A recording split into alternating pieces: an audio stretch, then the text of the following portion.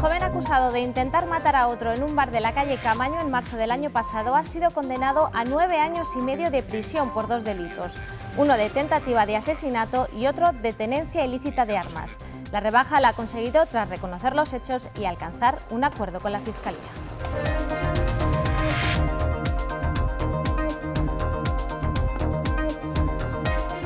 ¿Qué tal? Buenas tardes. Hoy también hemos conocido que el actual secretario provincial del PP optará a la presidencia del partido si el actual titular no se presenta a la reelección.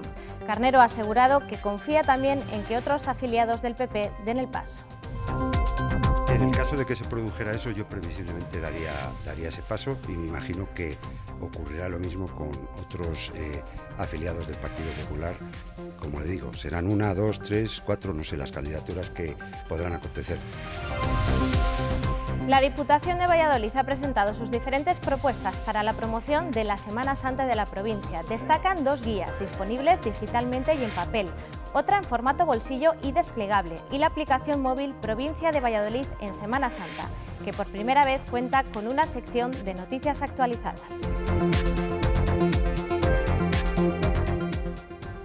Tras triunfar en Nueva York, México o Milán, llegaron anoche a Valladolid con el espectáculo La música no tiene límites. Este grupo de artistas reinterpretó desde los temas más clásicos hasta los más modernos del pop rock. Enseguida se lo contamos.